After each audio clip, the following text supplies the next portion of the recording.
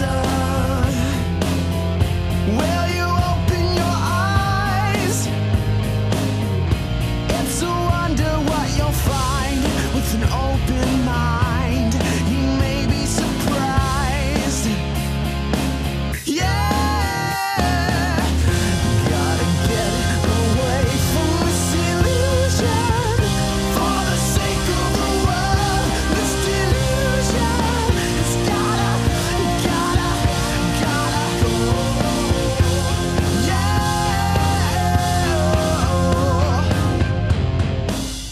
Everybody, welcome to the Atheist Experience Live. It's June 3rd, 2012. Welcome, everybody. I'm Matt Dillahunty. Joining me this week, Jerry DeWitt. Welcome, sir. Thank you, sir. Pleasure to be here. For those of you who are not aware, Jerry's a former Pentecostal minister. Penty.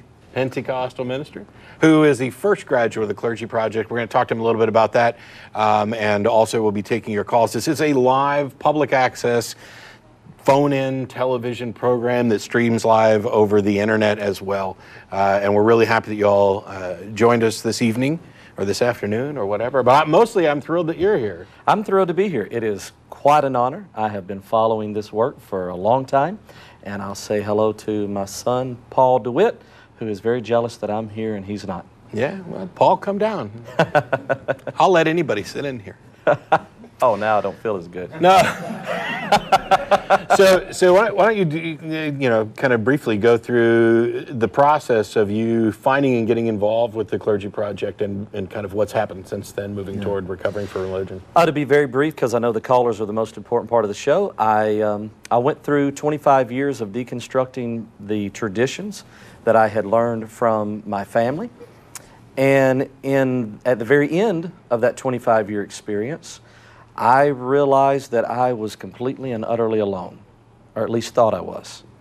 And so I reached out to the internet. I remembered somebody by the name of Dan Barker. I Googled, contacted, he contacted me back, and he introduced me to the Clergy Project. And the wonderful thing about the Clergy Project is, is that it's uh, an anonymous online forum where people who are in situations similar to what I was in at the time are able to communicate uh, in complete secrecy, not jeopardizing their life, not jeopardizing their family or their friends or their finances or the favor that they have in the community, and try to work their way out of a ministry that they no longer uh, believe in. We found ourselves in a position where we no longer held the supernatural beliefs of our religion.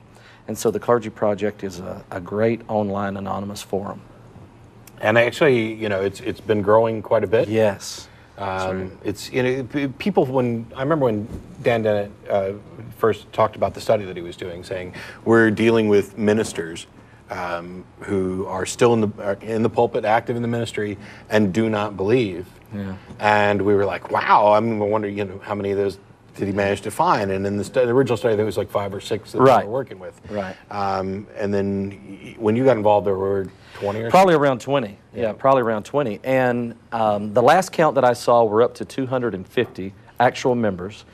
And during the month of May, we received over 100 applications. Wow.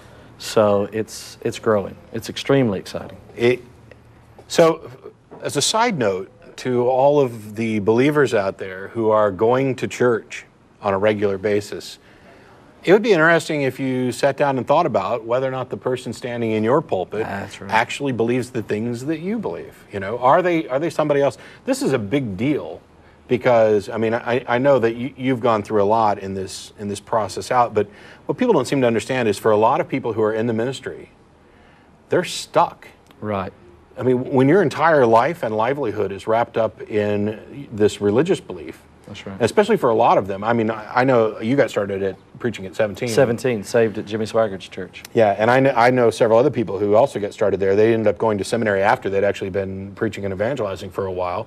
Um, and you develop a certain skill set that is fine tuned for the church. Right. And you find yourself so many years later um, kind of disingenuously saying things, wondering what do I do? And if I leave this, what do I have? Do I have a skill set that I can put to use anywhere? Is, there, is there a and and it's and, and it's it's a little bit deeper than that. That's obviously all very true. The other side of it is this: as a minister, your life is about serving people. And when you begin to see that you may have to disengage from the religious community, and you know that all these other things are going to come about the loss of mm-hmm. possibly family, finances, favor, friends, all those things you have to begin to ask yourself what is my own personal integrity worth?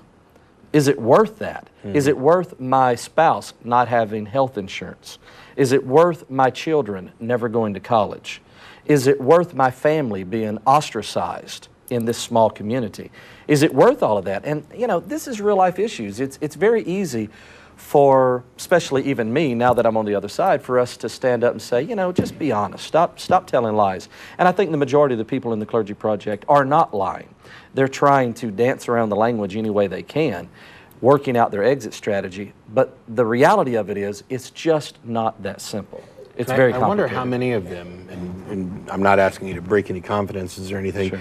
but I've always wondered how many of them uh, continue to do this and try to do good from the inside Yes. to soften the message, Yes. to kind of lead people towards a more enlightened, you know, path about this and and let's get it you know we- we've lost a lot i mean if you go back to the fire and brimstone stuff you don't Oh, hear quite sure. as much of that as you used to anyway Right.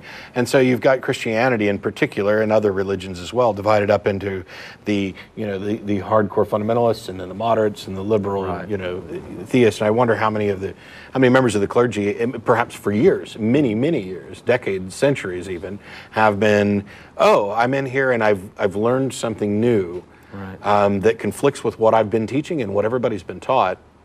Is there a way that I can work this in to try and educate, you know, the flock from within? That's exactly what I tried to do. The last church that I pastored was a, a, a community church, a very small community church. And I really thought I could go be, I didn't know the language, I didn't know the terminologies, but I really thought I could go be a Christian humanist, was what I was really working towards, and didn't even know it.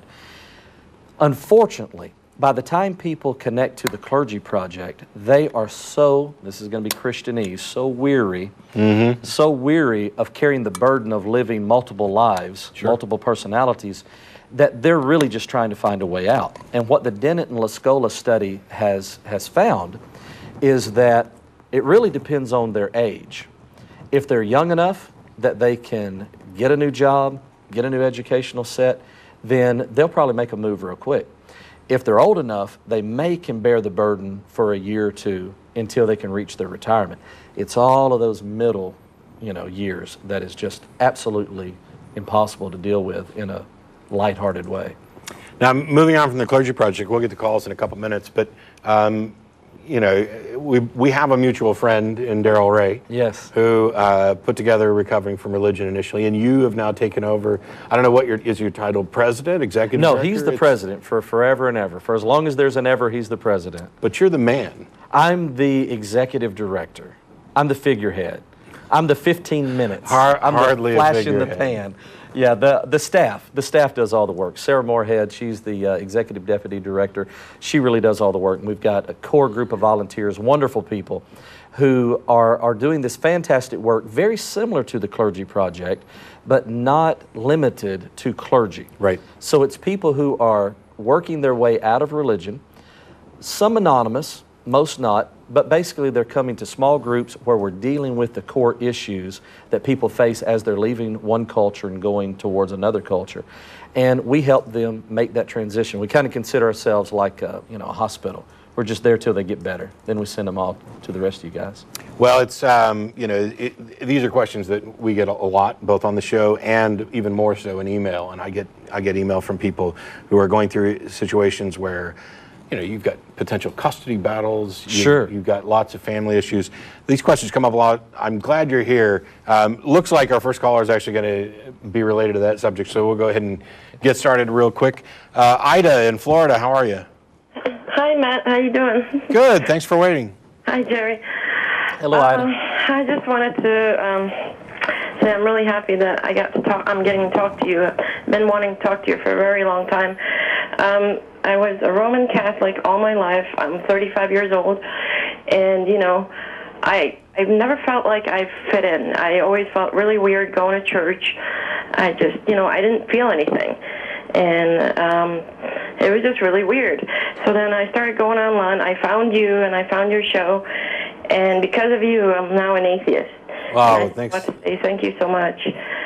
You you did the work. We just provided information, but thanks so much for saying so. You're like the best debater. I watch, um, you know, your Oh. debates here in Tampa and uh, just many debates you had online. It's like nobody could debate you. It's amazing. Well, I hope there are still people that can debate me because I like doing it. But thanks so much. You, you I wanted to ask you one thing though. Like, you know, I, my daughter, she's 14, and you know, she's open about being an atheist also, like in her school. And ever since you know we came out and told people openly, just how do you deal with the negativity? Because the people, the kids in her school, and um, people that I tell, it's like you know, they're just so negative. Mm-hmm. How, how do you deal with that? Do you wanna I start? mean, what do you?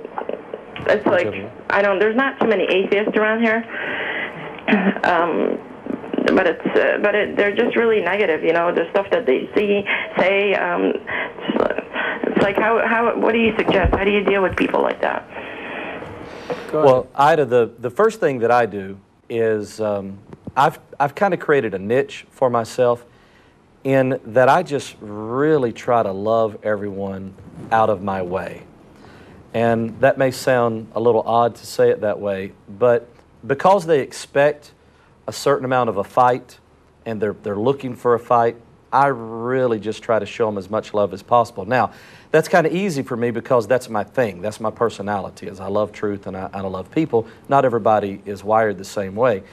I, I honestly had to avoid certain situations.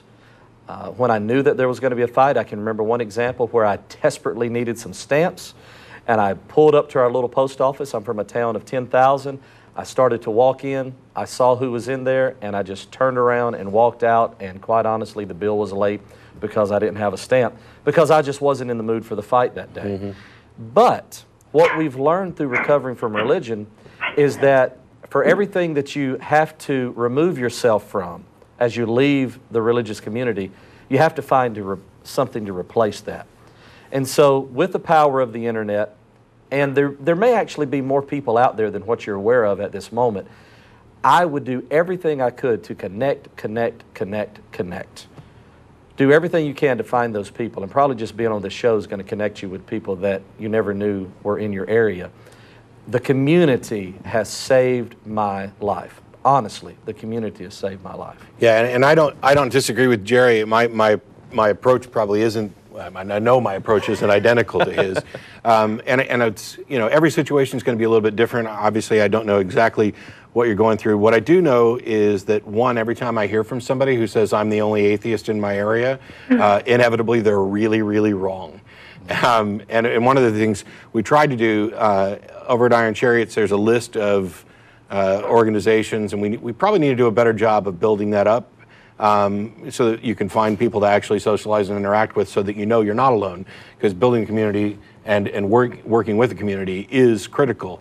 But my, I don't, I don't know how much negativity I ran into, but when I do, I tend to try and be kind of straightforward and analytical about it. And by that I mean, um, okay, I understand that, you know, if it's a relationship that existed before where I'm losing a friend, where somebody's disconnecting from me, um, I have to own the fact that of the two of us, I'm the one whose position has changed, and that is mm. my responsibility. And I will own up to that. And if they no longer want to associate with me, that's one thing.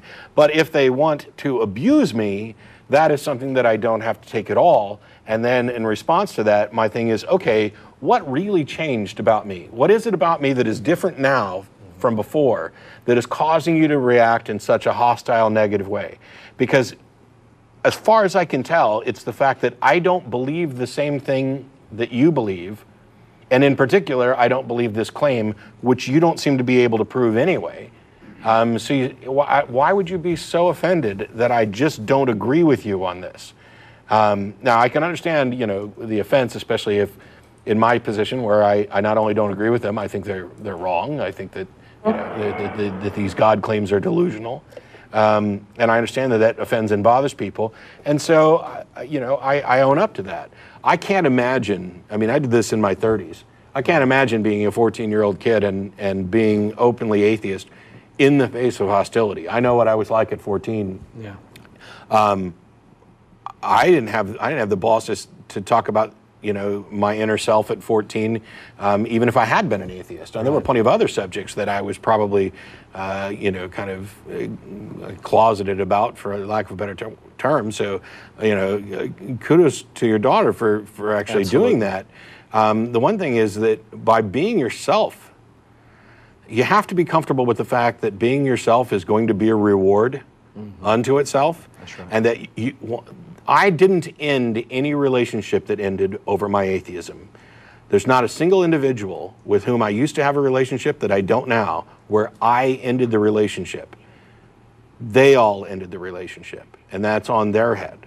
I did not do anything that would have or should have ended a relationship. And you have to be you have to be honest with yourself about these relationships and how important they really are. Obviously, when you're going through this situation, everything is magnified, all of your emotions are on high alert. When things started coming out about me, I went through, I guess I had about 200 friends on Facebook at that time. I went through and could only find eight people that I really, really cared about talking to mm-hmm. about this issue. So, you know, I, I think you're I think you're exactly right. Yeah, Being yourself is your own reward. There's an aspect of that too, which is if the only way I can get these people to like me That's and care about me is to be something I'm not, do I really want those people? I mean, people ask all the time, should I come out? And we had a little conversation about this this morning after Jerry's talk. Um, and my answer ha- has been, well, it depends. You know, definitely if you think your your life or livelihood or your happiness in general is just going to suffer from it, then by all means don't. Let the rest of us who are out continue to work to build a safer world where you can come out, where we can all be out.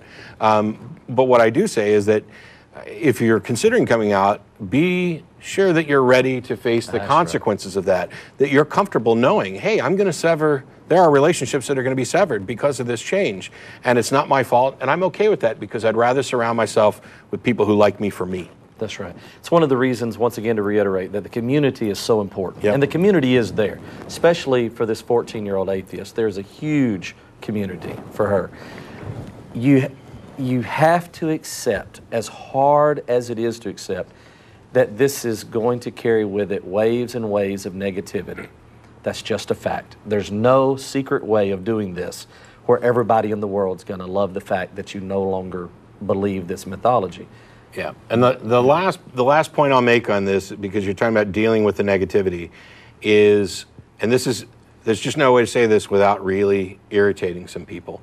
Um, by and large, with a handful of exceptions, I am not mad at religious people for their reactions to atheism or me or anything else.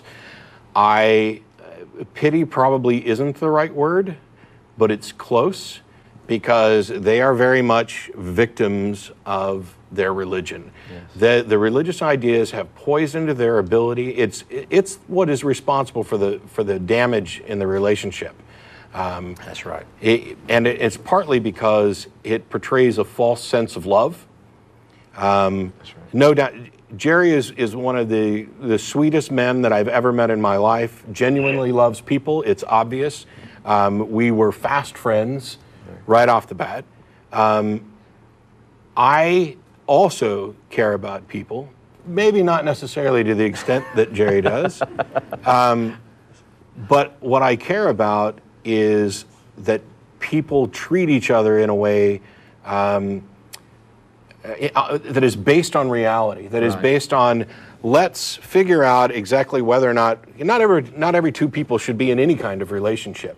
Right. And so religion gives this false That's idea right. that oh we're all brothers and sisters, we should all love each other, we should all get along. There's going to be conflicts. There's there's going to be two people who just aren't going to get along, and so religion's trying to to mend a relationship that is perhaps unmendable, and it gives people a false idea about what it means to love, what about what it means to interact with people, and then when you find out that they no longer believe what you believe, what happened to that love? Wait, weren't you supposed to keep loving me? That's right.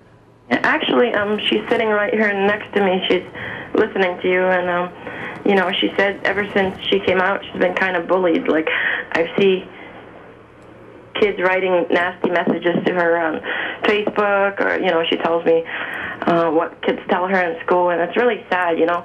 But It's, I tell you, um, it's not just sad, you have to take action. That's right. You have to take action. You have to contact the school administrators. You can contact the Secular Student Alliance. You can ta- contact the ACLU. You can contact the Freedom from Religion Foundation. Um, bullying is not to be tolerated at all. Mi- mistreating kids are going to snipe at each other, and there are people, you know, I, there are people who are always going to hate me, uh, and I'm okay with that because they're the haters. They're the people who are less than by do you guys definition have of hating. kids, like any of you, like in school or? I don't have kids in school, and well, you, your son's 20. My, my son, um, he's fortunate in the fact that instead of being a 14 year old girl, whenever he began to be public about his non belief, um, he was already a 16, 17, 18 year old, uh, very big guy. So he didn't get bullied um, that way. But it definitely severed relationships. And there was things said about him that obviously were not true and were inappropriate. So there is a certain amount of that that is going to be natural within the dynamic of you know high school relationships. But as Matt says, the bullying cannot be tolerated. That has to be taken to the authorities. It has to be dealt with. And there's there's there's fallout from that too. That Sure. it doesn't it doesn't solve every problem, but what it does is every individual that actually speaks out makes it easier for everybody else. This is what, for example, Damon Fowler found out. Um, you know, or, or one of Damon's big questions was why, why the hell didn't anybody do anything before I did? Why did I have to bear the entire brunt of this? And as long as as long as we keep succumbing to the bullying tactics that attempt to silence people, then somebody else is going to get bullied, and then somebody else is going to get bullied. Um, yeah, we, we've got to take action in that. I know that JT is working on um, secular safe space as a project for making sure that uh, educators can provide places where kids can go where they know that they're going to be free from this. Uh, this this bullying is what it is. And there's a small piece there, just to add on the end, of turning the other cheek that we've received through our religious backgrounds that is obviously inappropriate in many, many situations. And Yeah. this is one of them. Yeah, I, I, I've gone on record, and, and I apologize, Ida. We're going to have to let you go at this point. I hope, I hope we got to your, the crux of your question. Yes, thank you guys, um, and thank you, Matt, for um, be, you know doing such a good job. And I'm, you know, it's been um, um, such a relief uh, becoming an atheist. It's like um, the burden, you know, has come off. It's um, Absolutely. you know, I don't know. Your eyes open up to everything, and uh, I don't know. I can't tell you what a relief it is. I, I, I am there with you 100%. And, you know, please feel free, contact us again. Let us know what's going on. If, if things have improved, drop us an email. Um, and you, if you're looking for contact information for organizations that can help, you can send us an email as well. Hey, thank you guys. Thanks so much. yeah, it's, uh, man, it's hard. It is hard. And that's the part, I, I, when I, I was naive, when I went in the clergy project and I began to uh, receive counsel from people who had already been out, been out for a while, I honestly thought I could figure out a way to make this type of move that wouldn't be damaging. And it's just not there yet. Not in this point in time in our in our history. It's You know what's, you know what's really sad?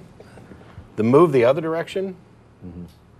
Yes. not damaging at all. Right. It's like a Do promotion. You know how rich I could be tomorrow Sure. if I flipped Sure. and found Jesus? Right. I mean, it's a good thing I'm ethical. Yeah. You could sell DVDs by the millions. It would be insane. Yeah. Oh, you know, atheist guy does TV show for six plus years, calling Christians, you know, idiots, and now he's a Christian. Ha ha ha. You say, uh, he who shall not be named, which you probably don't know about, um, got a bunch of press because he got some help from a Christian group, became a Christian for two or three days, and then went back to being an atheist. So. So if I lose my job and my mortgage is due, I might put out a call to churches to see if they'll uh, if they'll loan me the, the money to, to cover it. We'll take up an offer. Robert in DC, how are you? Hi, I'm good. Uh, my question for y'all today is, uh, as atheists, um, I guess isn't atheism as dogmatic as theism, and isn't agnosticism a more logical way of thinking? No and no. And why? And what? Why is that? I can clarify, but I want to make sure you turn it down so that we don't get feedback because I heard myself. Um, First of all, atheism isn't, right. isn't as dogmatic as religion because it's not an ism, it's a response to an ism. It is the position that I don't accept your God belief. It is not a declaration of absolute certainty, and it is not anything that we're asserting is necessarily true, um, that there are, in fact, no gods. What we're saying, what atheism is, is this I don't believe. And um, the idea, first of all, agnosticism and atheism aren't mutually exclusive terms. One addresses what you believe, one addresses what you know or claim to know. And so they can be coupled because knowledge is a subset of belief. Um, so Gnosticism and agnosticism is a subset of atheism and theism. So you could be an agnostic atheist, and most atheists are, or you could be a Gnostic atheist, and most atheists are not, and it depends on your definition of knowledge. But if I ask you, do you believe in God, and you say, I'm an agnostic, you haven't answered the question because I didn't ask you what you knew. Right. I asked you what you believed, wh- whether or not you believe in a God. And on that, there are only two options. Uh, if you believe, you're a theist. If you don't, even if your answer is, I don't know, or I'm not even sure what I believe, you're an atheist. Because I, I fail to see how you could actually believe in a God and not recognize that you believe in a God. I mean, to me, theism is a positive assertion that I do believe in God, and if you can't make it, that you're an atheist. Now, th- that is, uh, by and large, dictionary atheism, and that's uh, kind of a philosophical look at it. Who atheists, who atheists are, what we do, what the atheist community is about, it's about a whole lot more than just I don't believe in a God. Right. There's, there's, there's a lot more to it than that. It's not, it doesn't derive directly from atheism. It is just positions that are consistent with atheism. My atheism is the product of my skepticism. Right. Um, my views on certain, certain things are based primarily on my humanism. These are all, uh, they're, not, they're not contingent upon one another, but they're consistent ideas. Yeah. The little creed that I, I quoted um, during the presentation earlier today skepticism is my nature, free thought is my methodology, agnosticism is my conclusion, atheism is my opinion, and humanitarianism is my motivation. And so that, that sums it up for me. Another, another quick point with that would be the dogmatic nature of religion is top down. And of course, we try to um, we try to not give that appearance sometimes by saying, "Now, don't take my word for it. You know, read your Bible and find it for yourself." But that's really an exception to the rule. That's something that is said but not necessarily practiced. The whole point of religion is to follow someone. That's what religion does. That's part of the rite that you're involved in. Where my experience with atheism has been exactly the opposite. It's actually from the ground up. Each and every individual that I've met within the movement has absolutely, they may be starstruck because they're celebrities throughout our culture, but they are not in any way obligated to anyone out there, regardless of how many books they've sold or how many lectures they give. It doesn't matter who that person is. If they get up and they say something that is scientifically wrong or fails to meet the test of reason, they will be called on the carpet for it. Yeah, it's it's not an ism. There's no tenets. There's no instructions. There's no uh, authorities. There's no rituals. There's none of the none of the things, and and there's no dogma because they, we're not asserting anything that that is beyond question. Uh, religions do assert that things are beyond question, even when they pretend that you can question them. Right. It's it's that this is true. Uh, it reminds me we were, we were in Kamloops. Uh, I was in Kamloops recently and had a debate, and you know one one of the opponents was talking about um, how it's just true. If the God exists, and if you're open and honest, He'll reveal Himself to you. And my question was, okay, why has why didn't I get this revelation? And you know, what, did I just not try hard enough? And his answer was pretty much, yeah, you you really just Yeah. you had some bias or you didn't try hard enough. And to me, that's that's absolutely despicable. And it's based on this idea that, oh, I can't possibly be wrong about this, and the Bible can't be wrong about this. And so the Bible says God will reveal Himself to you. I've had what I think is this revelation. So clearly it's true, which means that if you haven't had this revelation, it's your fault. Right. That's how they get to the unquestionable aspect of it. There's nothing remotely like that. Yeah. In there's nothing in atheism, but nothing like that. And it's one of the most disgusting parts about religion is because it, it is seen as being your fault if you don't get this revelation or if you don't have this understanding, then once again, instead of having a, a situation where you have the burden of proof being put upon the person making the claims, you have something even worse than that. Not only is there no burden of proof, but also the guilt is shifted to the person that doesn't see it. So a claim is made, and if you don't see it, then you're at fault. It's, uh, it's filled inherently with guilt.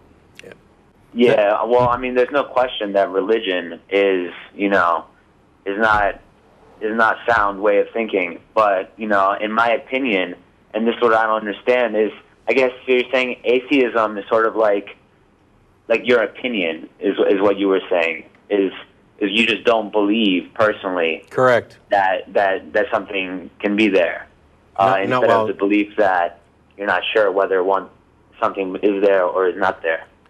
Yeah, the example, the example, there's a there's a burden of proof that goes with the claim that a God exists. The example that I've continually used is a court case. If the, the, fact of the matter is the defendant on trial is either guilty or not guilty, or guilty or innocent. Um, that's the fact. They either did the crime or they did not do the crime. And likewise, a God either exists or does not exist. But the question for the jury is not, did they actually do this? It's what do you believe about the claim that they did do this? And so that's why gu- juries don't vote guilty or innocent. They vote guilty or not guilty. And those people in the not guilty category may actually suspect that the individual is guilty. There just wasn't enough there to convince them. They don't have to be convinced of innocence. Likewise, on the question of the existence of God, um, there are people who are convinced, as I am, that there actually are no gods. There are other people who just aren't convinced that the various gods that have been um, suggested actually exist. And so the, the line that I, that I used was I find the defendant God not guilty of existing. If you can't see the distinction between saying not guilty and saying innocent, then you'll never see the distinction between atheist and perhaps anti theist. Right. And it, it also sounds like the same old story of if you have an opinion, mm-hmm. then you're being dogmatic.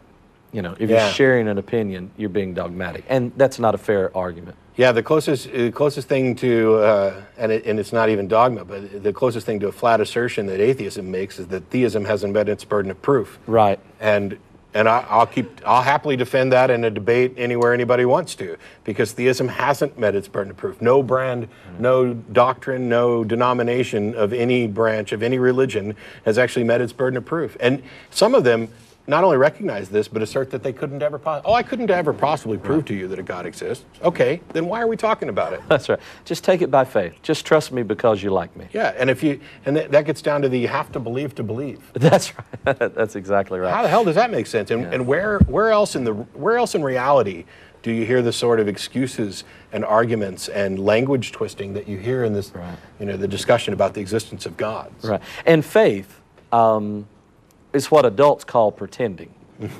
that's, that's what faith is. It's pretending. Yeah, I, I used to I used to have a bunch of different working definitions of faith, but I've, I've changed to where faith is the excuse people give for believing something when they don't have a good reason. Right. So pretending is a good shortcut for that. Robert, I hope that gets to your question. Thanks so much for calling in. Thanks.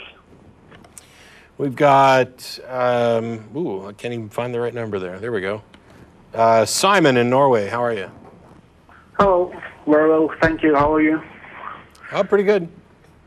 Okay, wonderful.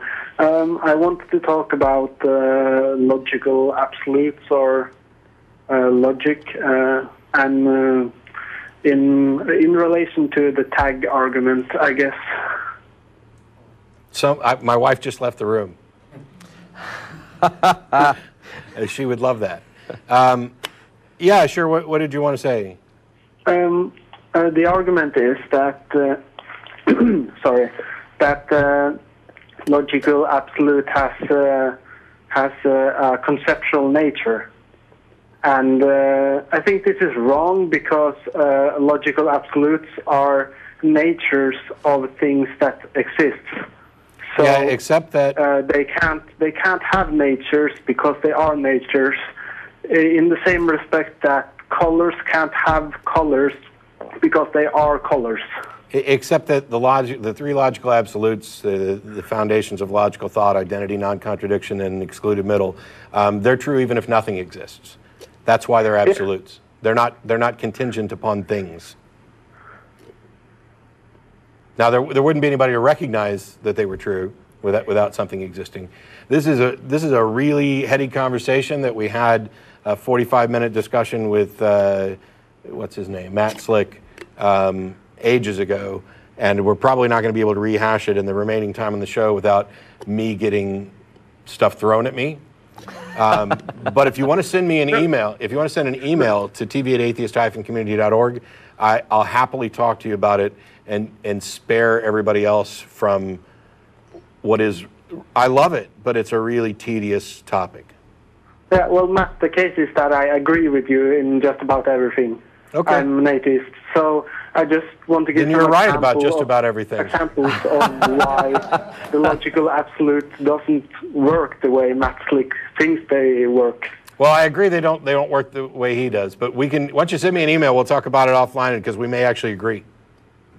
Yeah, we agree. I know. Okay, well, cool. but uh, The short I, I, there given the one short uh, given the short version of the show, I- given the short version of the show, I'm not going to spend time talking about tag if we agree on it. I love you. But- you love me. We all agree. Thanks so much for calling in, Simon. I appreciate it. Okay, bye. Bye bye. Yeah, I'm, I'm not doing not doing tag with people I agree with. Yeah. Uh, Ron in uh, Canada, how are you? Good. How are you guys doing? Doing very well. We're, we're all right. Doing. I think we're having a good time. Saw a great show last night. Had a great meeting this afternoon. I'm happy. Excellent. Well, uh, I listened to your show last week, Matt, Mm-hmm. and uh, I just uh, I really appreciated something you said last week um, that you had struggled at one time with having anger against the Christian himself Mm-hmm. as opposed to the faith, um, and seeing the the Christian as a victim as well. And uh, that really that really uh, meant a lot to me to hear that because um, I found myself exactly the same way, being so angry at Christians, thinking they're so stupid, not realizing I was one of those stupid people. Yeah, And, that, that uh, was part of the realization was that I, I used to say I didn't get smarter. Um, I think it depends on your definition of smarter as to whether I did actually get smarter. Um, my IQ didn't go up, or and uh, you know I we're all gullible about certain things. We are all duped. We all live our lives. You know, based on inference and induction, nobody's immune to being fooled. And when you live your entire life surrounded by a bunch of other people who have been fooled, Yeah. um, it's really easy. As a matter of fact, it's difficult to break out from that Yes. that you know constant envir- that environment of constant reinforcement. Um, Absolutely. I mean, uh, like uh, you, you know, I was a Christian for 24 years, and went on a two-year journey, and uh, uh, became an atheist. It was a long process for me, and um, you know, I firmly believe that one of the things, one of the problems is, especially for Christians to come out, is that uh, the whole faith is based on fear, and, and you know, they're afraid to to look at the other side of what the other side might say, because if by chance it contradicts what they believe, then what are they going to do? yeah, there was Oh, there was somebody. losing their salvation. Yeah, Oh, it, it, it does play do? on it does You play know? on our natural fears, and religion not only plays on our natural fears, but religion also manufactures fears as well. Somebody had referred to it as religion poisoning people and then offering them the antidote. Um, Yeah, but Beth. yeah. Beth came up with the idea because we're talking about this constant argument that we hear about you've got a God-shaped hole in your heart. Right. Well, religion punches a God-shaped hole in That's your heart right. and then offers you the, the God to fill it. Um, and it can only be filled with, with Yeah. the God that they're offering. Um, yeah. And you, you, you can't forget that religion is, is more than just showing up for Sunday school or attending service. Yeah. Religion is our culture. Yeah. It's, it's the place that we're at in history today. And so that hole is punched in your heart from a lot of different directions. Yeah. The other thing that, that makes it difficult and which causes me to have sympathy is, as I like to say, the same people who taught me the sky was blue and that the stovetop is hot are the same people that taught me what I was feeling was the Holy Spirit. Mm-hmm. The same Right. people that, that taught me the fundamentals of, of my religious experience. Yeah. So as a child, it's pretty difficult to know when to shut off the learning, Yeah. you know, when to stop believing what you're told. It's actually, it's, you know, we, we've talked about it before from an evolutionary standpoint. It's a good thing that children are born um, with a, kind of a natural intuition to trust the people who are older than them because they know better. You can learn quicker.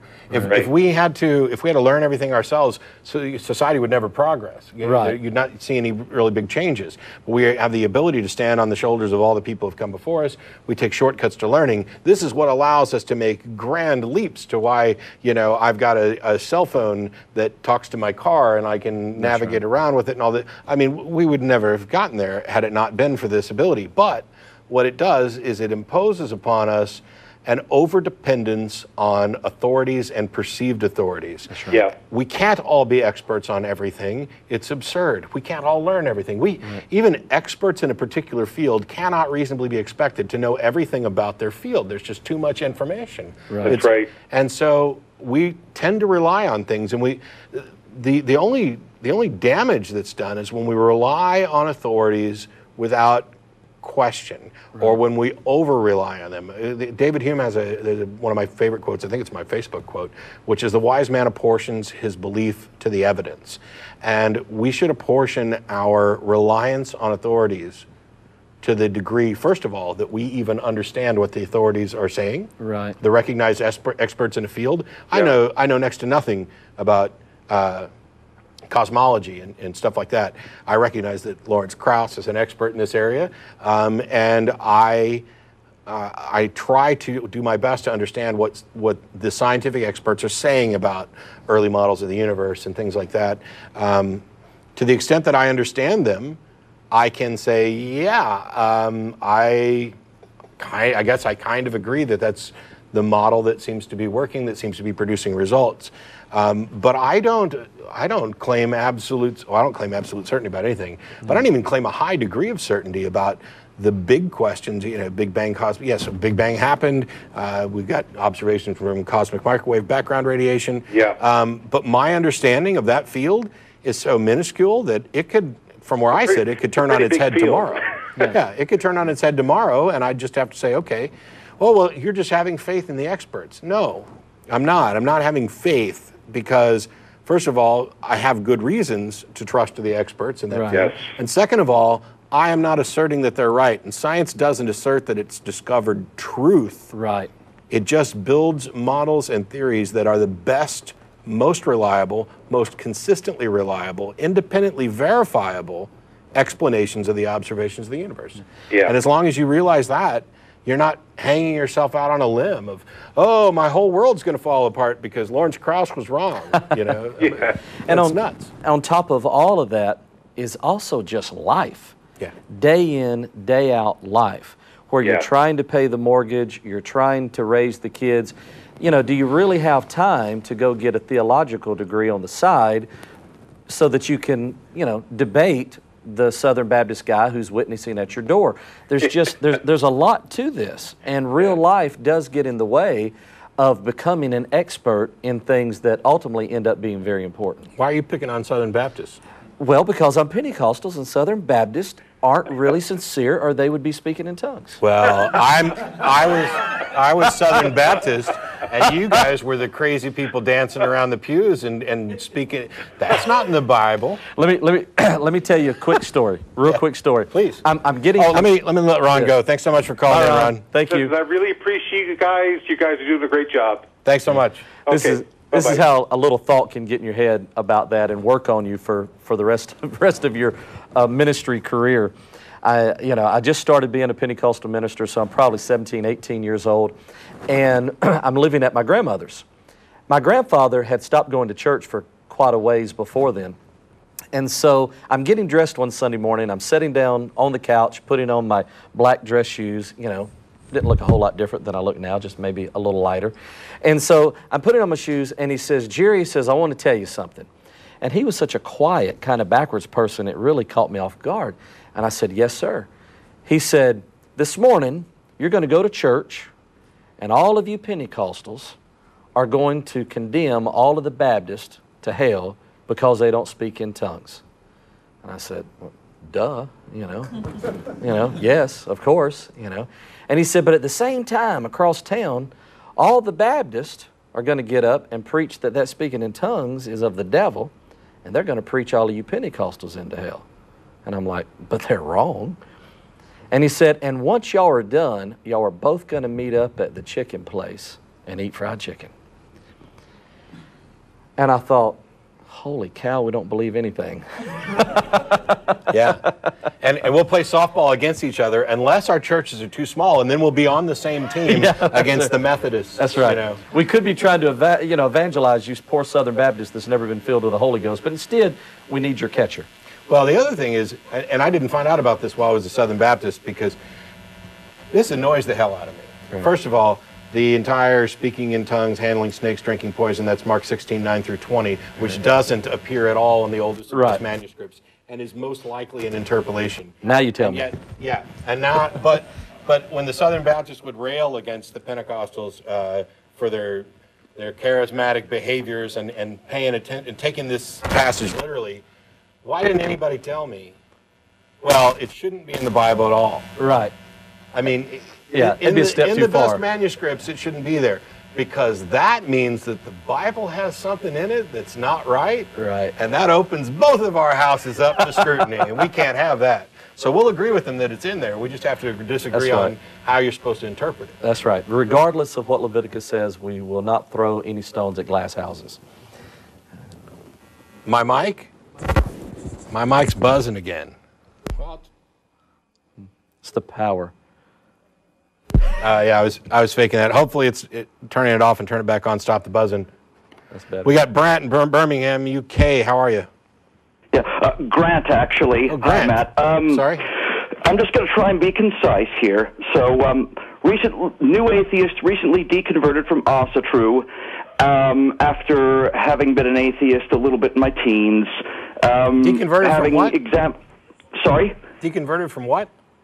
Deconverted from Asatru, Norse paganism, that sort of thing. Okay. Okay, and um, you know, now that I've deconverted once again, once again I find myself harkening back to my Christian baggage from when I was in my formative years. And I was thinking about the fact that, you know, going along with your theme of uh, recovering from religion, there's one paradigm from which I'm particularly interested in recovering. It has to do with the fact that uh, in the Bible, you have uh, the Christian God giving humanity dominion over the earth to do with as we please, and all the developments that came along with it, uh, such as eventually leading up to consumerism and the like. And I've been thinking about that and all the environmental damage that worldview has done over time. And as such, now that I'm an atheist again, I get to thinking that um, how to put this? Sorry. I get to thinking that as atheists, I would think that we w- would, you know, in our reason, have something of a moral duty to actually protect the environment in that we wouldn't poison the air and the water and that we might be a little more considerate of how what we do impacts on the very environment on which we depend and on which future generations will depend. And I was wanting to run the idea by you. What do you think of my idea about a thinking atheists having such a moral duty? I don't know that you can necessarily tie it to atheism, but I agree. Yeah. I mean, I, I, I determining what our moral duties are as opposed to our moral values. Um, th- there's a lot of work that needs to be done in this area, and religion. I, I'm, I'm going to stop saying religion uh, because we, we, we you know, I don't want to paint all religion with the same brush. There are very different religions. Um, Christianity, in particular, Right. has pretty much dominated all discussions about morality in the Western world, um, which I find particularly ironic because Christianity is not only not a moral system, it is grossly immoral. Um, and it is inhibiting our ability. What, it, what happens is that these are really difficult questions that require effort, and we we are we, we are lazy Yes. and we would prefer the comfort of certainty, even if it's false certainty, and the uh, comfort of having a ready, easy answer that we don't have to think about. And so when you are taught from the pulpit, uh, this is wrong, this is wrong, this is wrong, this is wrong, this is right, this is right, this is right, this is right, everything, all the work's been done for you and you don't have to think about it.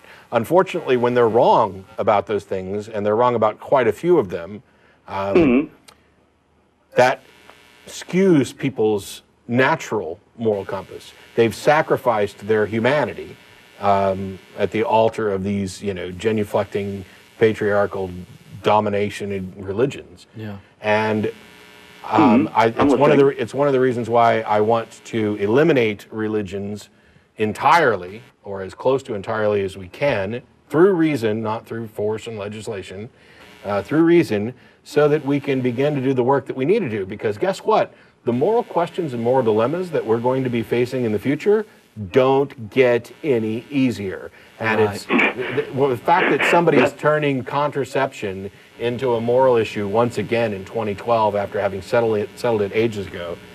What?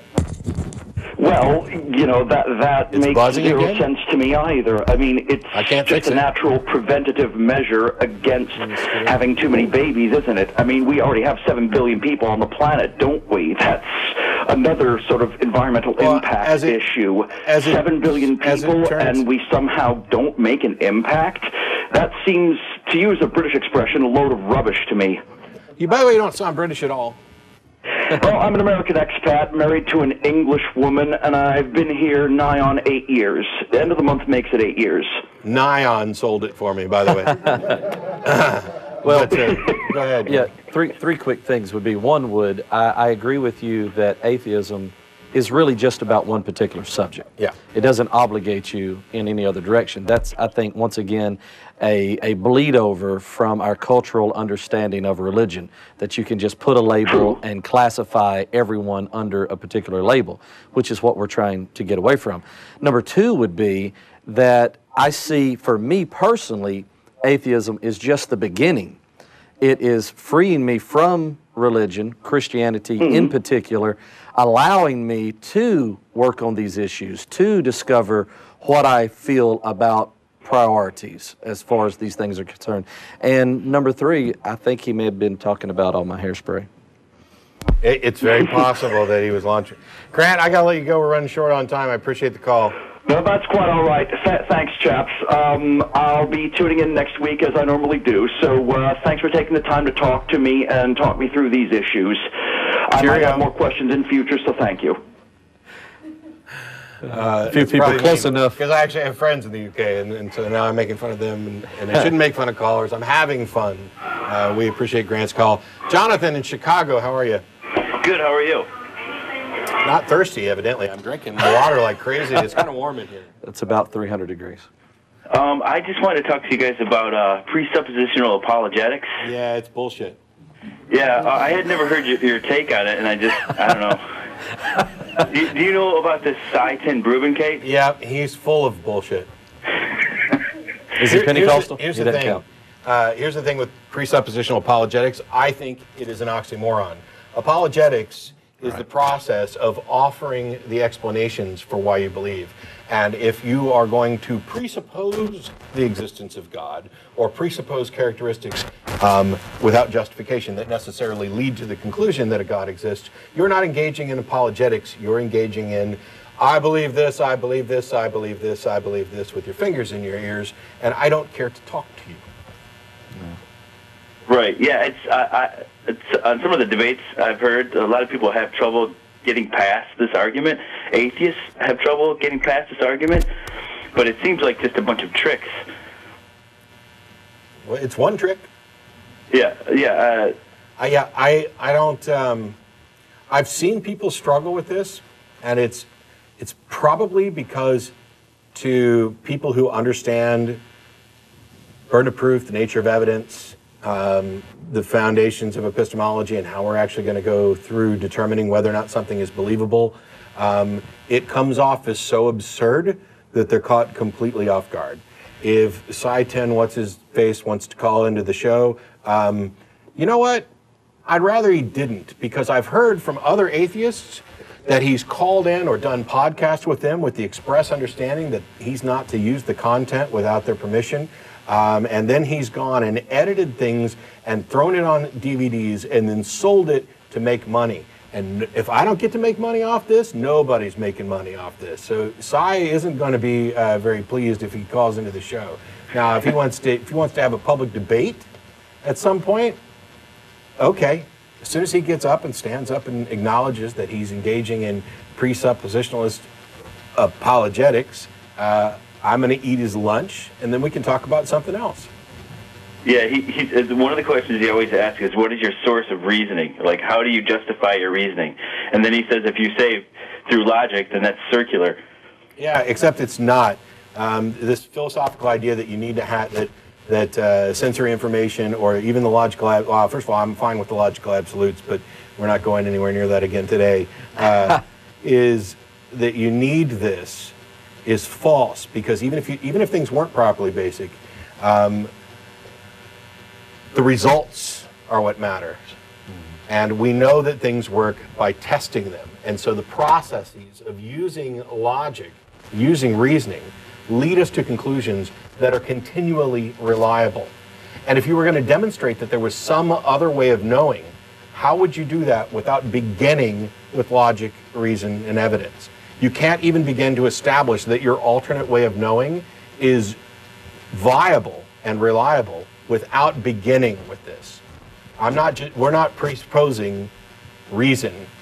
We are applying reason because it has demonstrated itself to be reliable. Uh, yeah, it's that's that's time waster arguments there. Yeah, yeah. Well, oh, thank you very much for uh, weighing in on that. I really appreciate it. I enjoy the show. Sure. Thanks, Jonathan. I appreciate Thank the you. call. Bye bye. What's this logic y'all keep talking about? I, I don't know. You're from Louisiana. I'll, I'll explain it later. John in Seattle, how are you? Hey, is this, am I on? For about 30 seconds, I wanted you to at least get your comments in. All right. So, uh, here's what I'm thinking, okay? I'd like to just get this off my chest and as most succinctly. So, okay. Here's my Rise Met is currently um, true or innate is rather uh, a Hey, John. coming terror. Hey, John. Hey, John. Plateau. John. Zombie- Okay, John.